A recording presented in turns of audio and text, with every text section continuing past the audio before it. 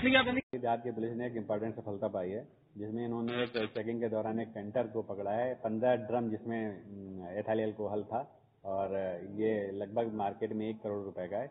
इसके साथ ही, जो कैंटर बरामद हुआ, बिना नंबर का है, और इसमें कुछ फर्जी कागजात और फर्जी नंबर प्लेट भी पाए गए हैं। इसमें दो अभियुक्तों की गिरफ्तारी हुई है, मोहम्मद नदीम और सारिक हुसैन की। दोनों कोताली नगर एटा के रहने वाले हैं, और दो व्यक्ति आकाश चौधरी और मनोज ये दोनों वहाँ से भागने में सफल हैं, जो पूछताछ बताया, इन्होंने इनका नाम बताया, ये दोनों नोएडा के रहने वाले हैं। इस पर कार्रवाई की जानकारी की जा रही है। ये शराब बनाने में इनका केमिकल प्रयोग हो रहा था, होता है, और इसे जहरीली शराब बनाने की भी संभावना रहती है। इस पर इस गिरफ्तारी